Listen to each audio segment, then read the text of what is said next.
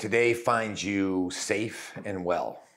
This is a big day for us. This is our 50th episode of the Meet the Penis, and it's a big milestone for us to meet.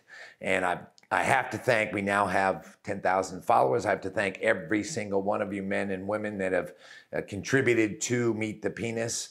Many of you with questions, and without those questions, we would not exist. Um, MTP is going to be around until there you guys have exhausted all the questions. And I can tell you that compared to doctors, you have much better questions. So keep bringing them to us.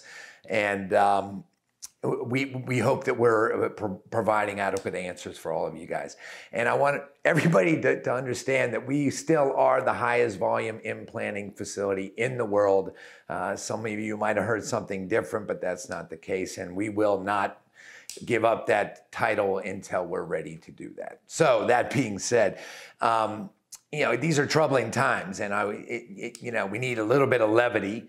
And I have to thank Jay, and I wish I could use your last name, Jay.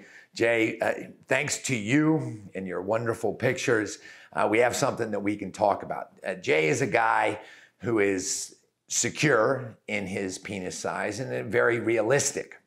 And um, I got to tell you, we had some pictures, and we've talked about growing and showing in previous episodes. But Jay sent us some pictures, and it was it was great, Jay, because on on on the part where you haven't grown yet, you had a, I think it was a Disney uh, ruler that was just hilarious, and then the other one had a, a much more standard adult size ruler, which I, I, I really appreciated the comedic style that you you have, but his question, and we've had a rash of these questions, which is, is there a penile implant size for my penis? And I get that from guys that are extremely large, and I get it from guys that consider themselves small, and some of them are indeed small. And I, I can tell you that there's a penis size, uh, a cylinder with your penis size, no matter what.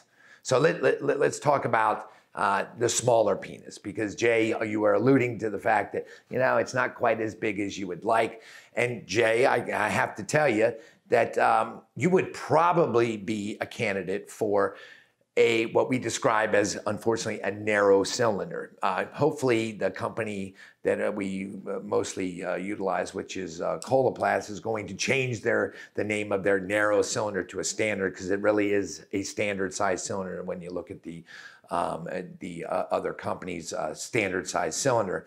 But that narrow cylinder, when placed into the proper penis, is perfect and your your your your functional and cosmetic result will be something you would be extremely happy with although you might not like the term narrow but you have to understand the worst thing you can do is put way too big a cylinder into a narrow penis because those patients have pain that lasts for a significant period of time.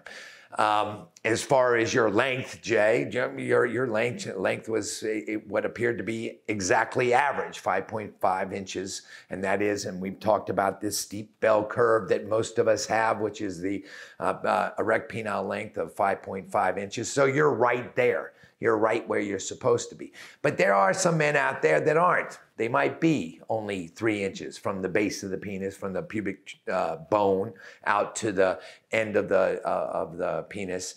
But there are implants for you too, and the whole point is you, you're looking for a penetrating penis with the penile implant.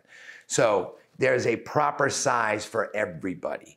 And proper sizing is something that a dedicated center will give you. And we've talked about dedicated centers forever.